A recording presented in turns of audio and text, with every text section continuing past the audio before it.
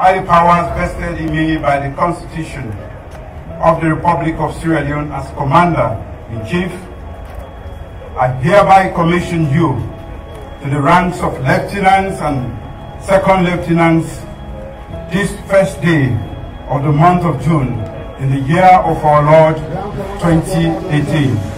Congratulations.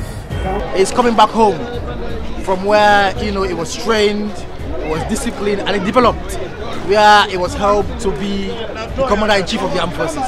So it's very important. But also, this is the very first time that the um, institution is training over 600 people to be recruited into the armed forces. That's also important. 30 odd years ago, he was out here witnessing his parents, his relations were witnessing the same thing. He being passed out as an officer in the Republic of Sierra Leone Armed Forces. This one is big because this is the first official military function he's coming into.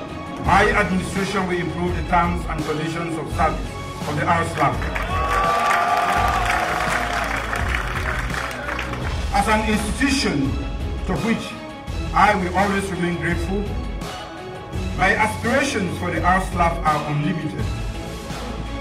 For the time being, my strongest desire is first of all to work assiduously to ensure the return of RSLAF contingent to international peacekeeping operations around the world. Let me also commend the commandant, the gallant instructors of this noble institution, and the administrative staff for a job well done.